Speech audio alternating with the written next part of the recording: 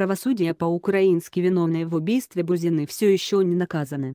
Правосудие по-украински. Виновные в убийстве Бузины все еще не наказаны. 2.1 РИА Новости могила Олеса Бузины.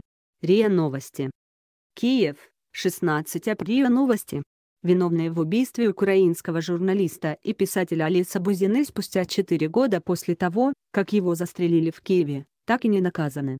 Дело передано в суд. В совершении преступления подозревают двух националистов. Их защита считает дело бесперспективным и ожидает, что приговор будет не скоро. Спустя несколько лет судебных слушаний прокуратура только зачитала обвинение. Известный украинский журналист Бузина, который писал и для сайта Ria.ru, был застрелен 16 апреля 2015 года у своего дома в Киеве. В журналиста выпустили четыре пули, одну из них в голову. Дело возбудили по статье «Умышленное убийство». Следствие рассматривало несколько версий убийства, в частности, связанную с профессиональной деятельностью журналиста. 8 декабря 2018 года, 11.17.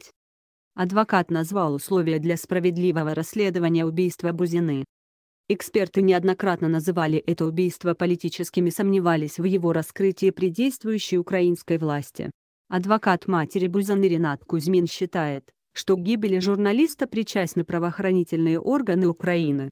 А глава мониторинговой миссии ООН по правам человека Фиона Фрейзер, обращаясь к матери погибшего журналиста, заявляла, что в ООН обеспокоены ненадлежащим расследованием убийства, как и в других делах относительно журналистов. Фемида не спешит, Президент Украины Петр Порошенко назвал делом чести для украинской власти раскрыть это преступление. Уже через два месяца после убийства журналиста глава МВД Украины Арсен Аваков сделал громкое заявление о раскрытии дела. По его словам, силовики в ходе проведения спецоперации задержали двух исполнителей преступления Андрея Медведька и Дениса Полищука. Оба задержанных были бойцами националистических батальонов и принимали участие в боевых действиях в Донбассе. 12 июля 2018 года, 16.50. Об Олесе Бузине и его матери. В связи с недостаточностью доказательств суд в конце 2015 года отпустил обоих подозреваемых под частичный домашний арест с 19.00 до 8.00. После этого они начали активную общественную деятельность в составе одной из правозащитных организаций. В августе 2017 года мать украинского журналиста подала иск в Европейский суд по правам человека, ЕСПЧ. Тогда Кузьмин пояснял, что издевательства украинской власти над Валентиной Бузиной вынудили ее обратиться в ЕСПЧ. Она, как и адвокаты, была недовольна длительным расследованием дела и безнаказанностью виновных. Дело было передано в суд для рассмотрения по сути в феврале 2018 года. Его согласились рассматривать судом присяжных. В апреле 2019 года дело сдвинулось с мертвой точки. Представители прокуратуры зачитали на заседании 30 страниц обвинений в адрес националистов, а суд определил даты заседаний до июля.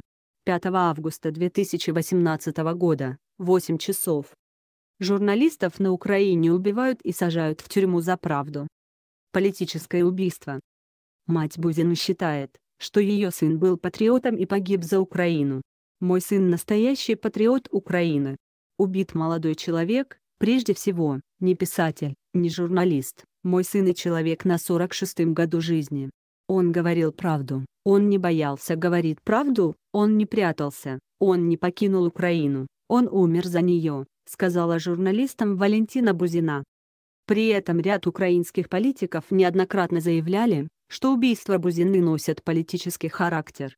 В частности, партия «Оппозиционный блок» требовала поставить точку в расследовании как можно скорее и даже зарегистрировала в Верховной Раде постановление о создании специальной комиссии по расследованию убийства журналиста. Однако эта инициатива даже не выносилась на голосование в парламент.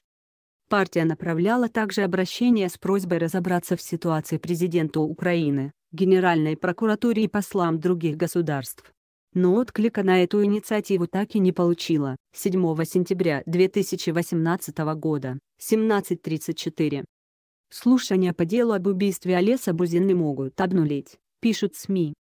Бывший заместитель генпрокурора Украины Ренат Кузьмин, который в настоящее время в качестве адвоката представляет интересы матери погибшего журналиста, считает, что в убийстве принимали участие сотрудники правоохранительных органов, поэтому дело должно расследоваться по статье убийства, совершенное по заказу.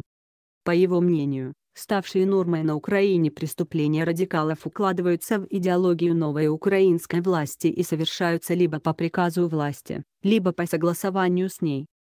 Если бывшие сотрудники правоохранительных органов Украины действительно виновны и этому есть доказательства, то дело в их отношении должно быть направлено в суд. А если они невиновны, то генпрокурор должен установить настоящих виновных и наказать тех, кто водил за нас общественность все это время, написал адвокат на своей странице в Facebook накануне второй годовщины убийства журналиста.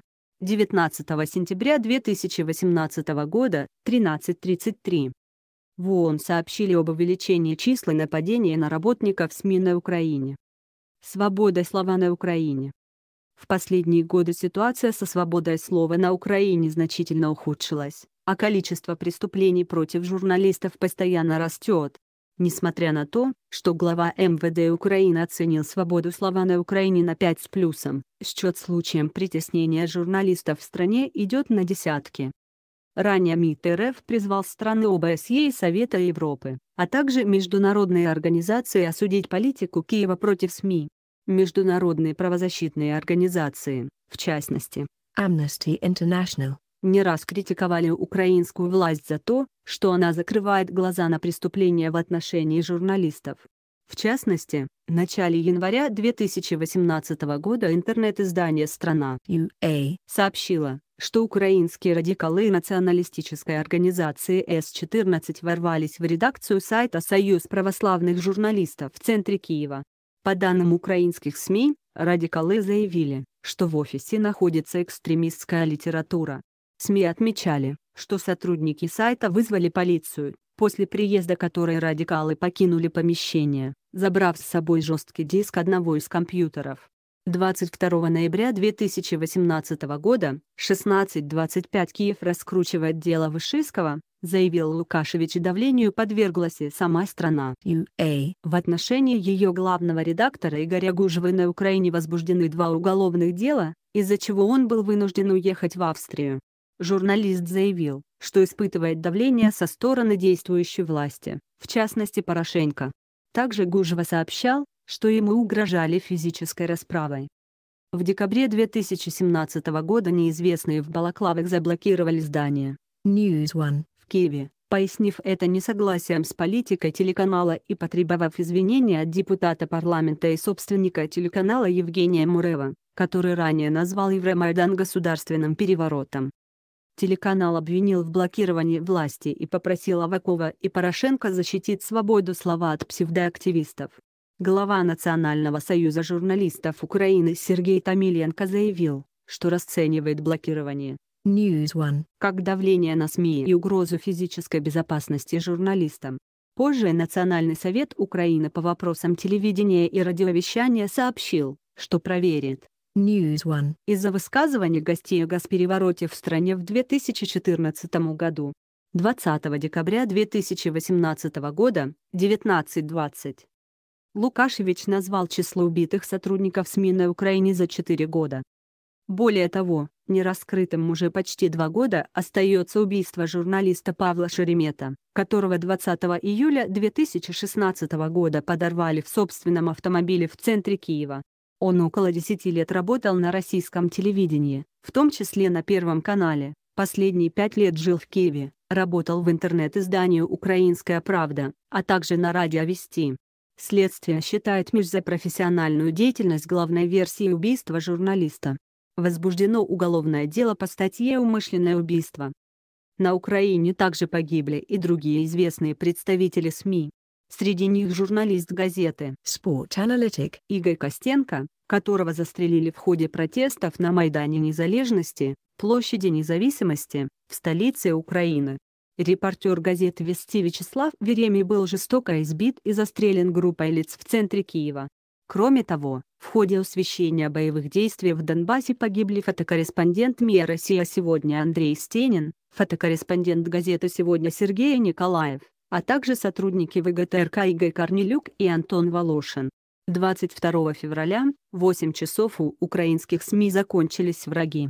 Приходится травить друзей.